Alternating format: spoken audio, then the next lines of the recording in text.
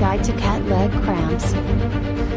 Leg cramps can happen when the cat sleeps on its back and its legs get twisted up in a way that restricts blood flow.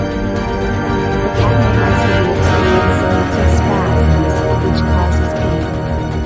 There are many ways to help your cat maintain proper circulation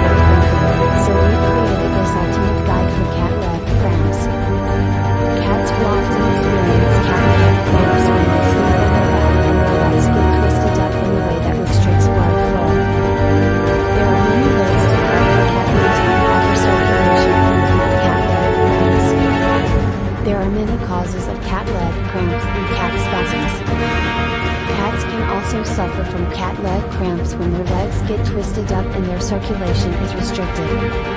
Avoiding sleeping on the back or in odd positions. Making sure that they don't sleep with too much room around them so that their limbs don't get twisted and restricted blood flow.